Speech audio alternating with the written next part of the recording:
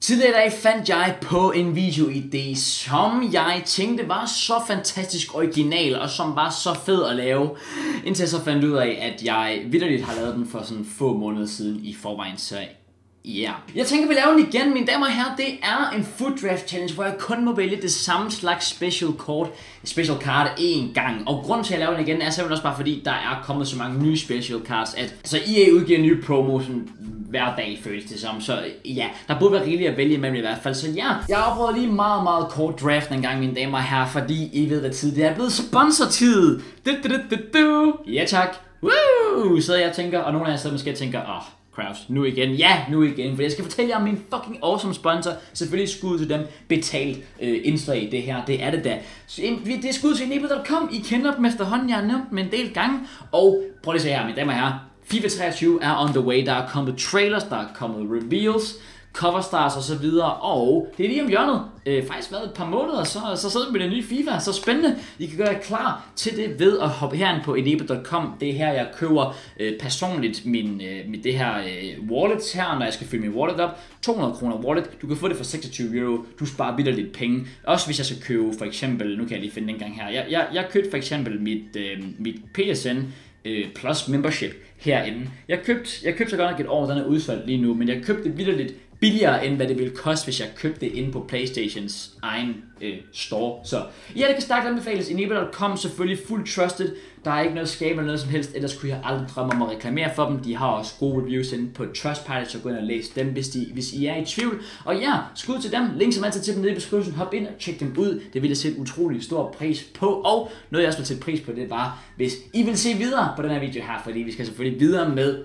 draften. Så vi har ud det en gang her, og vi skal have valgt en holderstilling. Uh, hvad tager vi? 4-3-2-1 eller 4-3-3 defensiv? Jeg tror, vi gå med en 4-3-3 defensiv, eller nej, vi tager den her 4-3-2-1. Let's go første spiller, og vi starter allerede ud på hot da kæft. Der er i hvert fald en Icon Moments, eller en, en Winter Wildcard. Jeg tænker, det bliver en af de to, vi vælger. Spørgsmålet om Cannavaro er et kort, man har lyst til at vælge som sit moment. Det tror jeg ikke. Jeg tror, vi vælger at gå med, øh, med Pogba her faktisk. Et ret decent kort på midtbanen der. Og øh, lad os egentlig bare starte nedfra og så gå op. Så vi tager keeperposten her, og vi tager, uh, ja, jeg, jeg, jeg vil sige, at of Season er måske lidt dumt at spille på en Alisson, så jeg tænker, vi går med en, øh, jeg tænker, vi går med en øh, Edward Mendy, igen fordi det her signature, øh, jeg kan ikke engang, altså, bro, jeg ved ikke engang, hvad fanden for en promo det var, jeg ved ikke engang, hvad fanden point var med den promo. Der er for mange af dem. Ja, jeg tror, vi tager ham, for det er en af de sådan lidt mere sjældne-agtige øh, promos, eller hvad man skal sige. Dem, der i hvert fald ikke er så mange spillere, der kommer frem af. Og vi holder ned til næste. Uh, og det her. Se, vi kunne fortsætte med noget Premier League her, men så skal vi allerede bruge en Team of the Week på, på Cancelo, men det kan vi måske også godt. Vi kan måske egentlig også godt tage ham her. Uh, det er en, øh, hvad hedder det, Road to the hvad? Road to Final Champions League version. Den tager vi. Går med ham og hopper videre til centerbacken. Indtil videre øh, ser det godt ud i hvert fald, og der kommer kun det frem. Goddammit, hvorfor skal I lige vise mig ham nu? Det skal sige, at den her video optager jeg søndag. Den, hvad har vi i dag? Den, den, den 24. Så når den her video kommer ud, så har kun det højst sandsynligt valgt Barca, og så er der rigtig mange jokes omkring, haha, Chelsea har ikke signet nogen, fordi alle bare går fra dem. Og det pisser pisse Ja, det, ja, ja. Vi, vi, vi, vi er finished. Vi, we in the mud. Der er ikke mere at sige. Men måske kun det faktisk er den oplagte at tage, øhm, simpelthen bare den årsag, at han har det her igen. Et, et lidt mere sjældent øh, øh, promo card. Så jeg tror, vi gør det. Og selvom det gør fucking not. Men sådan er det. Vi hopper videre til den næste centerback. Og den her gang, oh, og der, der, hey, der får vi en spiller, der ikke, der ikke har rejected Chelsea. Come on, Koulibaly, my guy, my king, the true god. Let's go. Ham tager vi selvfølgelig. Here we go. Se, der er det godt, at vi stadigvæk har en Team of the Week til gode, fordi den her karakter er faktisk ikke dum, vel? Der er sådan, altså Graven, ja, men han får vi jo ikke brugt. Altså, det, jeg, jeg tror, vi vælger at gå med Kanté, så vælger vi at bruge Team of the Week her, men det er måske egentlig også fint nok. Synes egentlig, han passer rimelig godt ind på holdet med linksene og så videre. Tænker i hvert fald, at vi, vi kan få det til at give mening. Synd at Koulibaly ikke er i Chelsea på, den, på det kort der, så har det været perfekt. Men vi skal heroppe og have valgt en øh, front trio i hvert fald. Den første vi tager, åh, oh, Salah, den er så oplagt, den her Headliners. Ja tak. Og den næste vi har her, igen har vi ikke valgt nogen Team of the Season endnu. Det vil være synd at bruge den her på Dybala, men måske det faktisk er det bedste vi kan gøre. Vi kan kun vælge mellem ham og så, ja i hvert fald, øh, Dembélé, kan man sige, Adidas det numbers up. Måske vi faktisk burde gå med ham. Eller hvem har vi? Åh, oh, fuck, vi har faktisk taget... Nej, har, vi har ikke taget numbers up, vel? Vent lige lidt. Har jeg fucket op? Har jeg fucket op? Er, er Koulibaly og, og Mohamed Salah det samme slags kort? Det har jeg overhovedet ikke lagt mærke til. Oh my days. Um, well, vi tager Usmane, eller ikke Usmane Dembélé. Jesus Christ, jeg sejler. Vi tager Musa Dembélé. Og please, please, please, please, please. Oh my god. Bro, jeg er så fucking dum. Da Koulibaly kom frem, der havde jeg så travlt med at sidde og, og, og, og praise ham for, at han var en spiller, der havde valgt Chelsea i virkeligheden. Jeg havde totalt glemt at kigge på, hvilket kort det faktisk var. Jeg literally havde overhovedet ikke tænkt over, hvilket kort det der det var. Så jeg vidste ikke, at jeg fucking havde det. Så jeg havde allerede valgt to af det samme kort. Professional fucking YouTuber. Ja tak. Ikke meget længere i hvert fald, fordi hold da kæft, hvad fanden er det her gang i? Well, det beklager jeg, mine damer og herrer. Hold kæft for det. Hvorfor er det dumt? Det, det er så dumt. Ja, prøv at høre, det er en del af charmen. Det er en del af charmen. Vi hopper videre til venstre kanten. Og her der får vi en... Øh, oh, den der David Silva er, er meget, meget lun faktisk. Kunne man ikke godt vælge ham? Det tror jeg, vi gør. Og, oh, men, Altså, hvad fanden laver jeg? Ja, ved du hvad, vi, vi hopper bare videre, der er ikke så meget at gøre ved det. Og det næste vi har, Donnarumma her, er vel bare den oplagte at tage Team of the Year. Øh, linker også, nej, jeg skulle lige sige, at han linkede op med, øh, han linker ikke op med nogen af dem, for han er, han er italiener. Han spiller bare i den franske liga, men det kan ikke rigtig bruge så meget. Øh, fuck. Men ja, vi, vi, vi, vi gør det, I guess. Åh oh, gud, hopper videre til, ja, men hvad laver, hvad sker der her? Og her, og ja, vi kan jo faktisk kun vælge mellem de tre i midten her, så jeg tænker, vi går med en Ben Chilwell. Yes, så hvis EA øh, har lyst til at få fingrene ud af røven her, så jeg kunne vælge en spiller, det kunne være nice. Nej. Okay, we back. Let's go. Ja tak, den her gang kom det frem. Og vi har, uh, vi har faktisk kun én spiller, vi kan vælge her, right? Eller jo, ja, vi, vi kan faktisk kun vælge en non-rare guld. Shit, det er ikke godt det her. Vi løber tør for muligheder snart. Øh, man kan sige, det, er, det har jo tydeligvis været fuldstændig ligeglad med tidligere, når jeg har valgt to af den samme slags kort allerede for. Fuck sake. Men stadigvæk, okay, vi fortsætter. Se om challengen kan lade sig gøre alligevel. Well, det kunne den faktisk ikke. Det var meget antiklimatisk. Øh, det var vildt det næste valg, at EA så bare var sådan et, nah. To be fair, jeg har også allerede failed challengen, så it is what it is. Øh, men ja, her igen, jeg kan bare lidt, der er frit valg på alle hylder, tænker jeg bare. Så jeg tænker, at vi tager en Daniel James. Her, den eneste spiller, vi kan vælge, er Ansu Fati faktisk. Men det er heller ikke dumt. Det er faktisk et, decent, ret, ret decent kort, og jeg tror også, det kan give os lidt bedre kæm. Så hvis vi nu tager ham, smider ham herop, allerede der en okay start. Spørgsmålet om der er andet, man kan gøre, det kan jeg ikke lige se mig ud af endnu. Jeg har svært ved at tro det. Vi hopper videre, vi har meget få spillere tilbage heldigvis. Øhm, og stadigvæk, stadigvæk har vi overhovedet valgt en team of the season endnu. Det har vi faktisk ikke, så der er faktisk mulighed her. Wilfried Zaha for eksempel kunne være vanvittig at tage her. Chalanoglu passer ikke rigtig ind. Øhm, og så, så er det selvfølgelig bare sådan lidt safe choice, øh, wants to watch. Jeg tror, jeg tror vel, jeg bruger Simon Season på, øh, på Wilfried Zaha her. Jeg synes faktisk ikke, det, det er dumt overhovedet. Øhm, et, et ret decent kort i hvert fald. Og nu skal jeg lige være sikker på, at vi har ikke en fucking Simon Season allerede valgt. Nej, det har vi ikke. Godt. Man ved aldrig med mig jo. Den næste spiller, der kunne det jo så have været fucking rart, hvis jeg ikke havde lige havde brugt min timer til tisen på at vælge Wilfried Zaha, når jeg så kunne få Messi bagefter. For helvede, det var sgu lidt dumt. Men øh, nå, vi tager, hvad, ja, hvad kan vi overhovedet tage her? Vi kan, vi kan ikke engang tage en Barbo, vi har allerede en, en, en Foot versus Fire. Øhm, den eneste vi kan tage det er Demarai, Demarai Gray eller Ferran Torres, men, men Torres er måske ikke mere et decent, uh, decent valg. Han vælger vi at gå med. Fire spillere igen, mine damer og herrer, og igen, igen skal vi... Oh, goddammit. Så vi skal faktisk vælge tre af den samme spiller nu. Jeg mener faktisk, sidst jeg lavede den her challenge, der valgte jeg kun, der endte jeg kun med at have to slags af samme kort. Nu er vi på tre. Det er fandme skuffende. Også fordi der er kommet flere special cards til, så det er lidt skidt. Men okay, hvem af dem er bedst her? Absolut ingen idé. Og det er vel egentlig også fuldstændig ligegyldigt. Ja, yeah, og igen her, nu går det helt galt. Jesus Christ. Okay, vi kan, vi, ja, vi, der er fri valg på alle hylder igen. Den her Ben ser ud til at være fuldstændig vanvittig. Men kan vi få ham ind nogle steder? Det kan jeg ikke rigtig se. Så spørgsmålet er, om der er nogen af dem, der er bedre. En Gundogan måske kunne være et shout. Og så alligevel, det ved jeg sgu ikke helt. Jeg tror, vi tager Gundogan trods alt. Meget få spillere igen. Kunne vi lige få de sidste special cards ind? Nej, nej, det kan vi simpelthen ikke. Bro, wow. Jeg er faktisk overrasket. Igen, jeg havde troet, det faktisk var muligt at lave challengen her.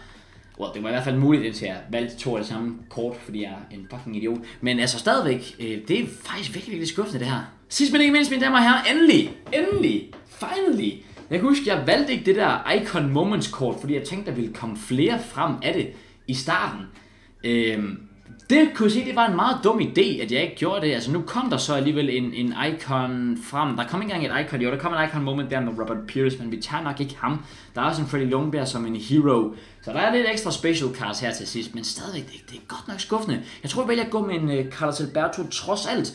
Og som I kan se her, jamen, vi endte sgu alligevel ud med at have tre, øh, nej undskyld, fire sjældne guldspillere. Det er meget, meget, meget skuffende. Jamen, mine damer og herrer, jeg har taget et lille kig på holdet, og øhm, hvor jeg skulle lige til at sige, jeg troede, jeg havde gjort det bedste, jeg kunne. Så ændrede jeg på en spiller, så blev det så bedre. Så ja, måske har jeg faktisk ikke rigtig gjort det bedste, jeg kunne alligevel. Måske har jeg bare fraudet den totalt. Jeg synes i hvert fald ikke, jeg kan gøre særlig meget mere ved holdet. Der er sikkert en eller anden total obvious ting, man kan ændre. Men alt i alt, I mean 90 rating, 86 kg er ikke katastrofalt.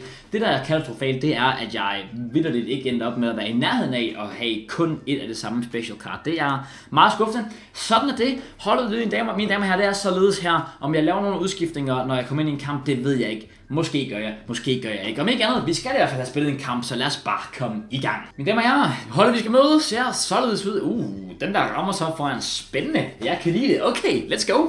Vi starter godt ud her. Silva får bolden. Der skal være 1-0. Ja tak. David Silva, mine damer og herrer. Godmorgen. Ja tak, så har vi muligheden igen. Wilfred, så har jeg valgt dig over Timo Season Messi. Så du har fandme bare lavet et eller andet fuldstændig vanvittigt nu. Ja tak. Okay, ved du hvad? Okay, okay, ved du hvad? Det var. Det var, det var sgu godkendt. Det var sgu godkendt indtil videre i hvert fald. David Silva her. Indlægget. Finder ikke nogen i første omgang. Holder på den endnu. Det var overhovedet ikke den find, jeg ville lave for satan da. Ej, det er godt lavet. Det var eddermame godt lavet, men vanvittige redninger som en de. Ej, det er smukt. David Silva. Trækket ind. Hvem står ind foran? Det gør Pogba selvfølgelig, som gør det til 2-0. Kan man dabbe?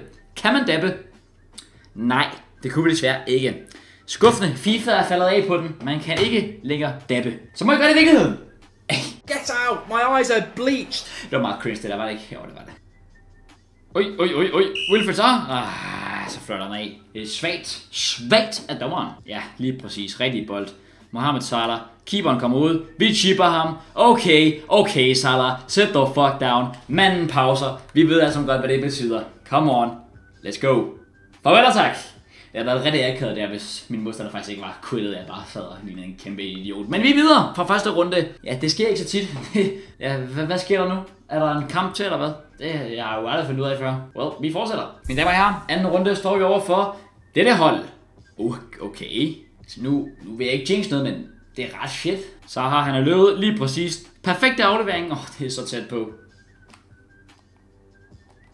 Ej, det, det, det er simpelthen dumt. Det er så dumt. Det er så dumt. Hvad fanden laver jeg? Goddammit, er han ikke også blevet skiftet ind Jude Bellingham for satan? Ja, det var en, en, utro, en utrolig dårlig start.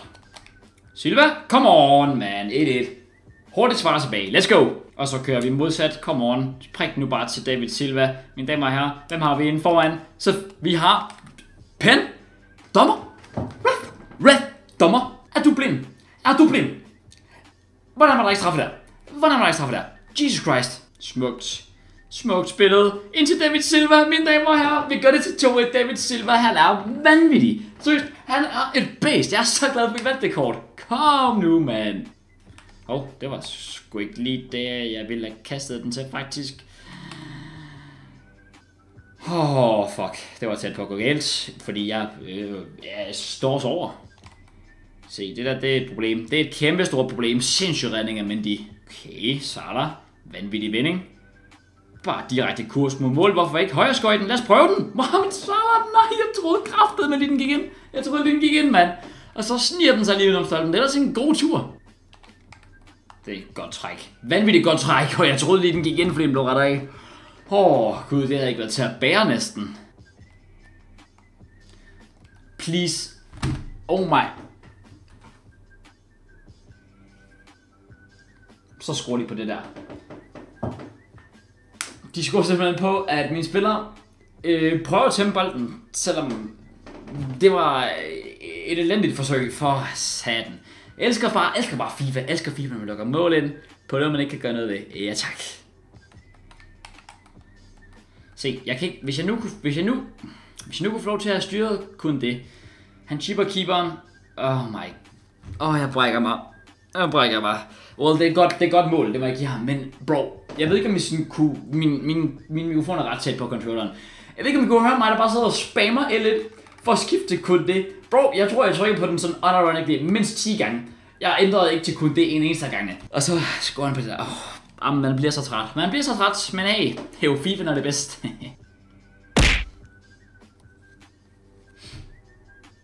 Åh, oh, de fik lige What? Hvorfor? Hvordan fik han rødt for den der? Det var en lidt sen takling, som ikke stoppede noget. Stort ikke? Well, jeg siger, jeg klager ikke, men okay, rødt kort til min modstander. Det er måske vores livline. Det er smukt det der. Ja, Wilfred så her. prik lige til den. Det er så tæt på. Ja, så er der så kontra til min modstander. Det er et problem. Det er et problem. Vi kommer ikke ret ind på kroppen af ham, kun det bliver sat. Og den skifter væk fra spil. Åh, man bliver så træt. Bro, jeg styrer spilleren inde på midten for at dække din taler op, så han ikke lægger den ind. Automatisk. Så skifter FIFA videre til den anden forsvarsspiller, som ikke er i nærheden af din... Åh, oh, gud. Det, ja, sådan er det, sådan er det. Vi skal være glade, glade dage. Yay, woo. Elsker FIFA, fantastisk spil. Hvad, hvad, hvad, bro, bro, bro, bro, bro, bro, bro, jeg, tak, jeg taklede spilleren, jeg taklede det spilleren, og han gik bare igennem min spiller. What the f- det er godt spillet, det er Wilfred Zaha. Det er måske en livline for at komme tilbage i kampen. Come on. Reducer. 4-3. 10 minutter tilbage. Vi kan nå det endnu. Ja, lige præcis der, og han følger godt med for satan. Hans forspiller på stregen følger fandme godt med, øh, med Zaha. Det var måske muligheden der. Jeg tror i hvert fald ikke, vi når. Så skal vi have bolden igen, i stedet for at drible ud over sidelinjen med den selvfølgelig. Det vil i hvert fald være en god start. Ja, jeg tror ikke, der er meget at gøre. Selvfølgelig, selvfølgelig bare ned i kanten, eller i, i hjørnet men det. Gjorde de så ikke. Sidste chance måske? Nej. Desværre. Blev for dig, mine damer og herrer. Vi taber desværre 4-3 i anden runde. Øhm, jeg vil sige, vi tabte måske mere til EA, end vi gjorde til vores modstandere. Vildt sådan alle fire mål, han scorede, var noget, jeg følte, jeg ikke kunne gøre særlig meget ved i hvert fald. Øhm, it is what it is. Jeg skal ikke øh, brokke mig for meget i hvert fald, men, øh, men men modstander spillede også decent, det, det gjorde han i den grad. Og øh, hey, David Silva igen, klassepræstation, så synd vi ikke, det ikke blev til mere. Synes egentlig, det var et decent hold, alt taget i betragtning her, men hey, det var, det var stadig sjovt, mens det varede. Og med det tak, mine damer og herrer, så var det det for den her draft challenge her. Vi prøvede, jeg skulle, jeg skulle lige så sige, at vi prøvede noget nyt. Det gjorde vi så ikke, jeg har lavet den før, men vi prøvede noget gammelt. Ja, yeah. men jeg har ikke andet, mine damer og herrer, så har der heller ikke andet at sige, end selvfølgelig som altid, tusind mange gange tak, fordi at I så med alle sammen. Hvis I nød videoen her, så glem selvfølgelig ikke lige at gå ned og smide like på den. Subscribe, hvis I mere. Og vi ses!